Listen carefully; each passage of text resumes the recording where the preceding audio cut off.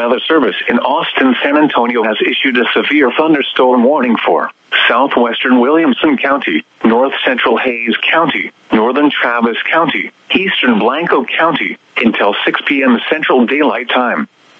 At 5.04 p.m. Central Daylight Time, a severe thunderstorm was located 7 miles west of the hills, or 10 miles north of Dripping Springs, moving northeast at 30 miles per hour. Hazard, ping pong ball size hail and 60 miles per hour wind gusts. Source, radar indicated.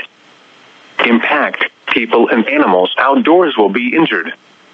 Expect hail damage to roofs, siding, windows, and vehicles. Expect wind damage to roofs, siding, and trees. Locations impacted include Austin, Round Rock, Cedar Park, Georgetown, Pflugerville, Anderson Mill,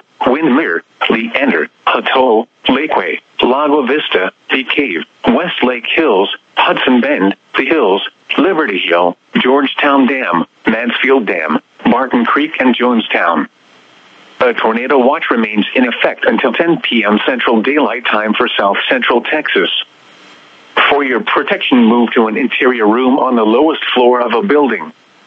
Large hail, damaging winds, and continuous cloud to ground lightning are occurring with this storm.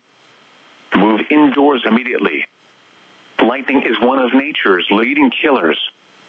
Remember, if you can hear thunder, you are close enough to be struck by lightning.